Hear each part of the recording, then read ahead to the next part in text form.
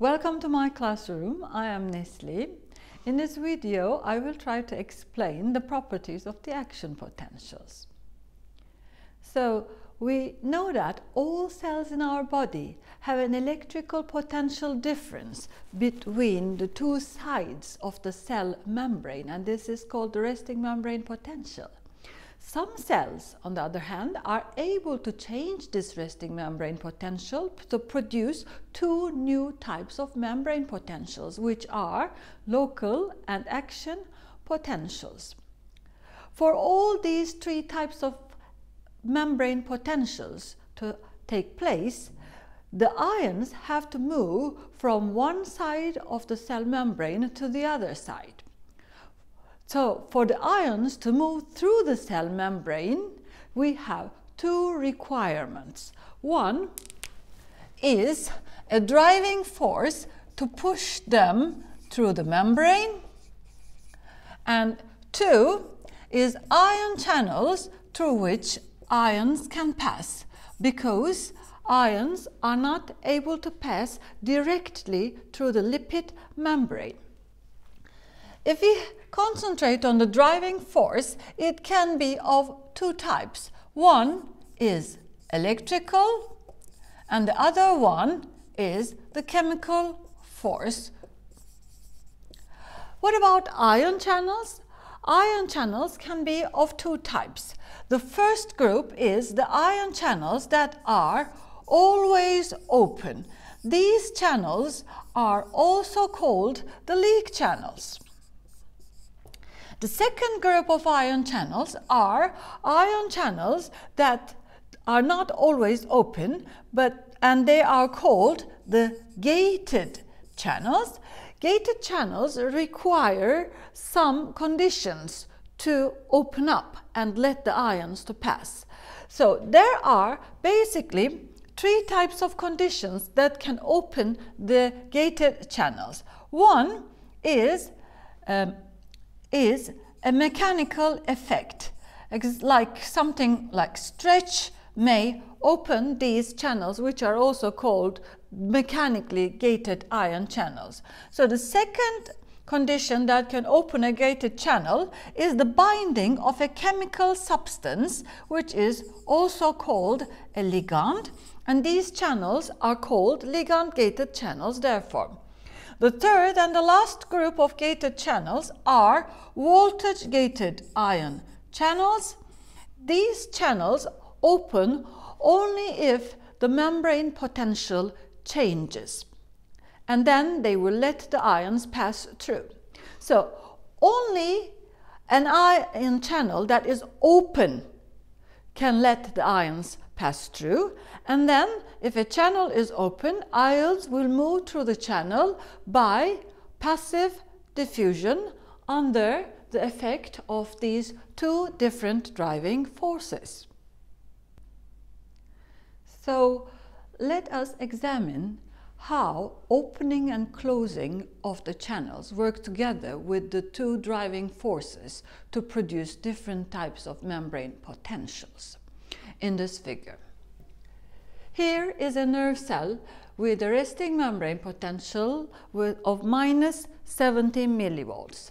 When the Nernst potential of potassium in a cell like this is minus 80 and the Nernst potential of sodium is plus 61, we know that we have already learned this in the resting membrane potential video. We know that there are in this cell membrane there is a lot of leak channels for potassium and very few leak channels for the sodium ion.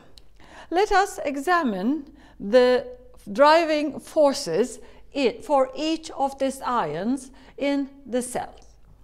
So, the first force is the electrical potential and the electrical potential being negative on the inside is going to pull both of these positive ions into the cell. What about for potassium? For potassium, the chemical force, which is the force of the concentration gradient, is going to push potassium out of the cell. But what about the amplitudes of these forces? The electrical force is about 70 millivolts, whereas the chemical force for potassium is approximately 80 millivolts. As a result, we see that there is a net driving force for potassium, which is only a small force, and that is 10 millivolts. What about for sodium?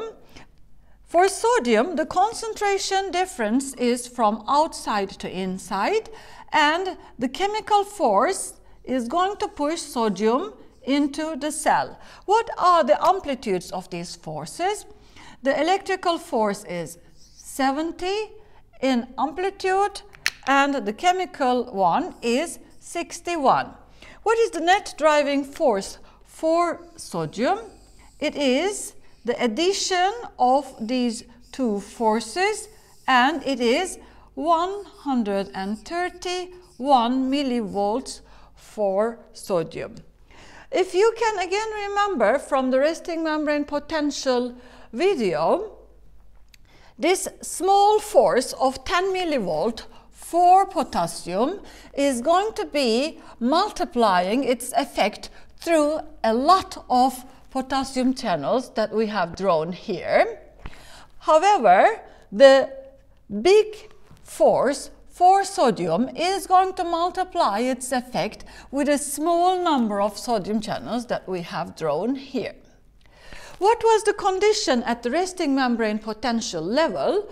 The condition was that the total number of potassium moving out of the cell by a small force through a lot of channels is equal to the total number of sodium coming into the cell by a big force but through a small amount of channels. So the number of potassium coming going out of the cell was equal to the number of sodium going into the cell.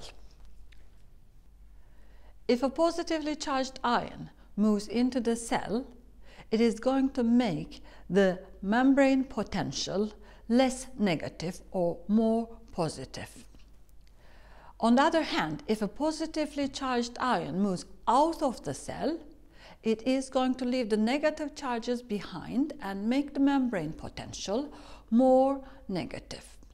During the resting membrane potential, the number of positively charged ions moving in and out are equal.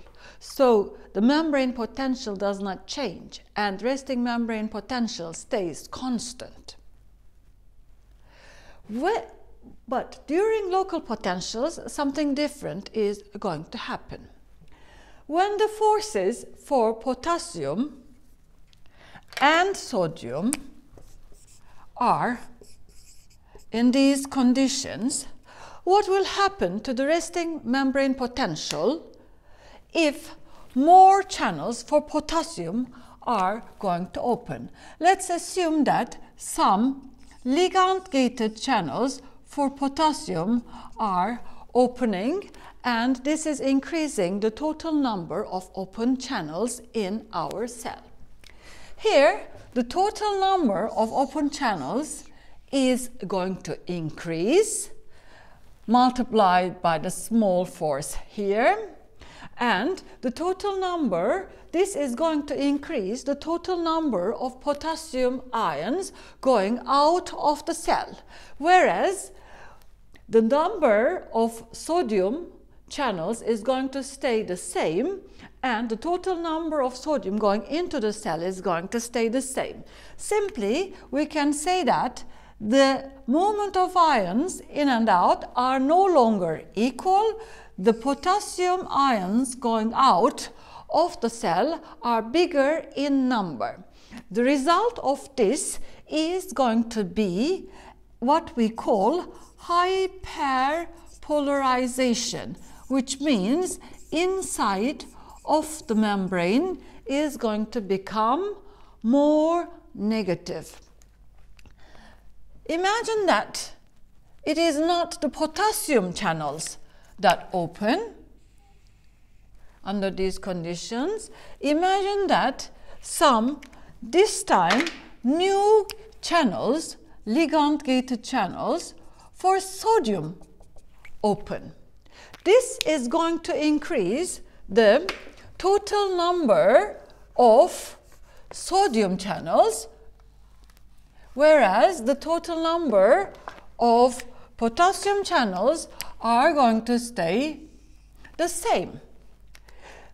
Now, when the number of channels for sodium increase, this is going to multiply with the same force and the result will be a bigger number of sodium ions moving into the cell, whereas the channel number for potassium stays constant and so the total number of potassium going out stays constant.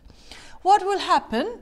Then the total number of sodium going into the cell will be bigger than the total number of positive charges brought out of the cell by the potassium ion and this is going to make the membrane potential, we no longer call it a, resting membrane potential, this is going to make the membrane potential less negative or in other words it is going to depolarize the cell.